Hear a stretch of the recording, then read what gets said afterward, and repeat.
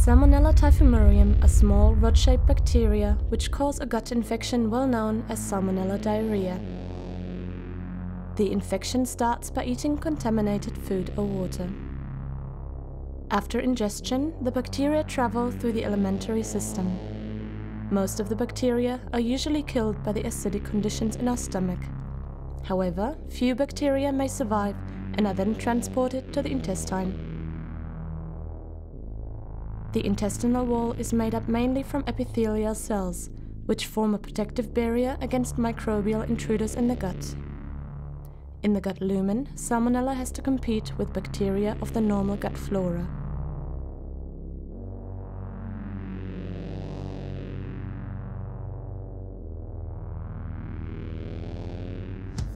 Salmonella typhimurium uses its flagella to swim towards the surface of the epithelial cells which is covered with a vast number of small extensions, the microvilli, which increase the surface area for absorbing nutrients.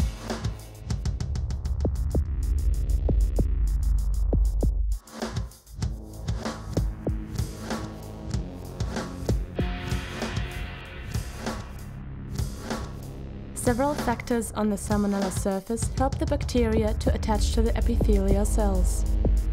These adhesins play an important role for the colonization and persistence of the bacteria in the intestinal lumen.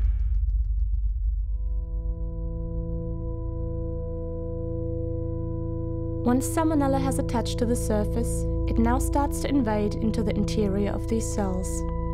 The bacteria use a specialized needle-like organelle, a type 3 secretion system, to deliver its toxins directly into the intestinal host cells. This system functions like a molecular syringe, which starts to inject the salmonella toxins as soon as it gets in contact with the host cell surface. Via this type 3 secretion system, Salmonella typhimurium injects a whole cocktail of toxins, the effector proteins, SipA, SOP-E and SOP-E2 into the intestinal cell. Inside the host cell, the effectors interact with cellular proteins and lipids and manipulate their function.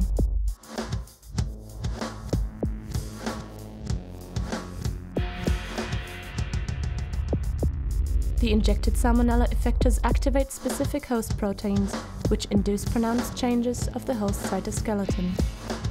As a result, the epithelial cell membrane extends outward. This ruffling process leads to the engulfment of the invading bacterium, until it is taken up completely into the interior of the host cell.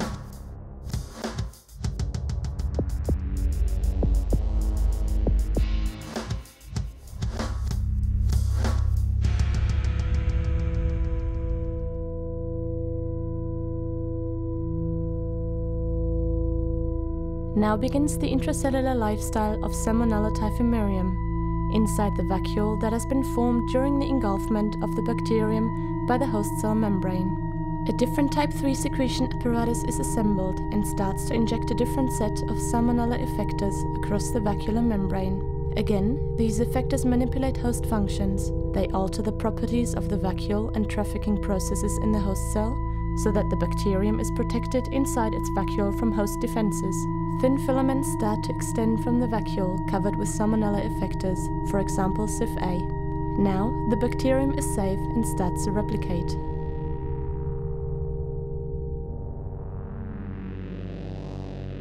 Using type 3 secretion systems as molecular syringes to inject effectors into intestinal cells and manipulate signaling pathways, Salmonella establishes an infection in the gut and triggers a profound inflammatory response, leading to the typical symptoms of infection, abdominal pain and diarrhea.